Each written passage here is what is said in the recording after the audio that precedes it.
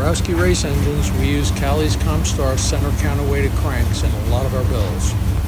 The center counterweight increases stiffness and reduces harmonics.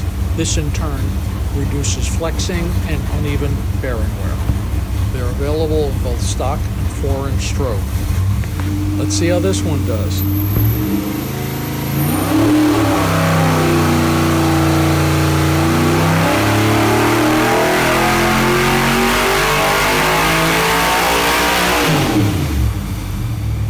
Bottom line is they deliver a lot of performance at a great value.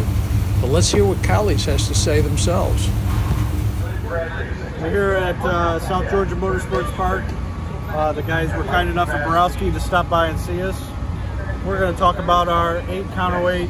This is a Hemi, but we do the same thing on our LS and why we what we do with Compstar.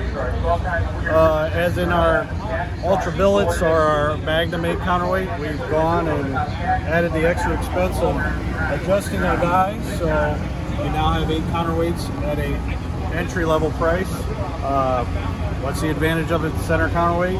Once again, it keeps the two and four from, uh, lack of better words, flexing. I'm sure they have experience burning up a thrust, and if, with a six counterweight, they sometimes tend to flex, and you'll catch a thrust bearing, uh, which is why we went to the eight counterweight.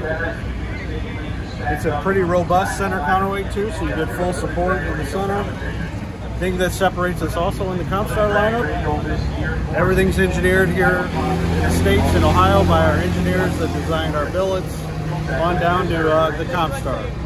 We finish piles from in-house, we size them, we check them, so everything's known. Every batch of cranks we cut up to verify the metallurgy also. So you'll never find a better crankshaft at a better value than the Compstar.